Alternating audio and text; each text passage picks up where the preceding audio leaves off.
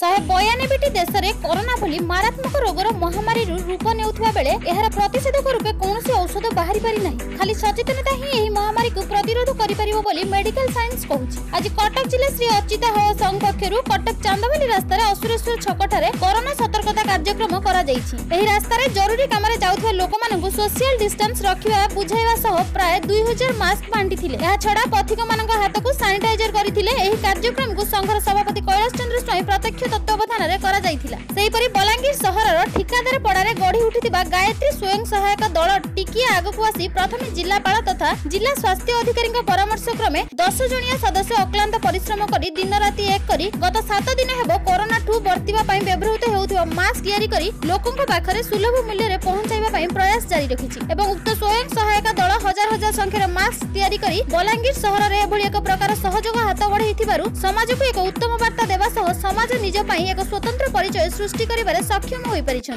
Salehpour Asit Kumar Samal Balangir Dharmendra Dutta report Kamiyab TV